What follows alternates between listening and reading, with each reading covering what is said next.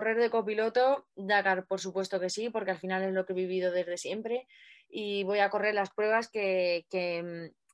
me, tenga la oportunidad y, me apetezca correrlas y ya no solo por las pruebas, sino si hay algún piloto que me haga especial ilusión correr con él, pues lo haré.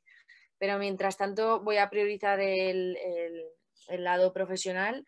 que, las carreras, porque al final eh, sí que se puede vivir un poquito de las carreras a tiempo completo, es muy complicado, eh, pero bueno, no, me, gusta lo que hago, me gusta lo que trabajo y no quiero que se me vaya un poco la olla con los hobbies y dejar de lado otra parte que, bueno, que estoy entrando en un mundillo y en un sector eh, quizás muy selectivo. Creo que los hombres con dinero les gustan los rallies o los circuitos o los deportivos y entonces eh, invierten su dinero en eso. Normalmente las mujeres adineradas Mm, no es de su gusto pues correr en coches. Ahora cada vez hay más porque la cultura está cambiando mucho, eh, sobre todo las niñas pequeñas que vienen con un gas de la leche, que si en motos, que si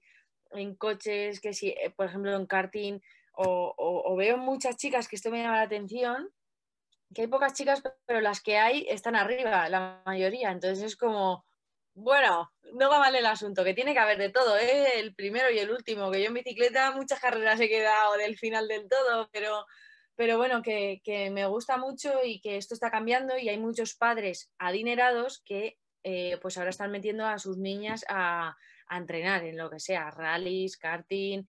pues eso, mediáticamente es muy romántico lo de padre e hija, y se olvida un poco que a nivel deportivo podemos ser competitivos los dos. Entonces, bueno, eh, eso quizás sería el único hándicap que, veo en esto.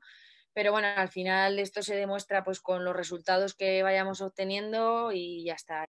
La afición que pueda haber en una carrera, en un rally de Cuenca, es la que te puedes encontrar en tres rallies de otra comunidad y sin desprestigiar a nadie, pero eh, es verdad que aquí el 4x4, en las motos de enduro, todo esto, hay una afición increíble.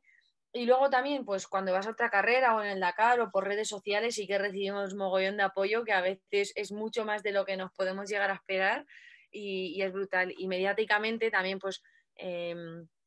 es un buen gancho, eh, una historia diferente que contar y bueno, pues eh, esto nos ayuda mucho para la búsqueda de patrocinadores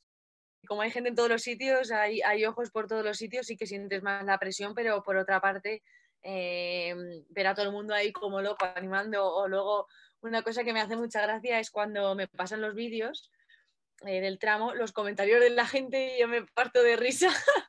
pero bueno, sí, está la presión, que la presión siempre es buena dentro de los límites y bueno, pues es algo que me gusta.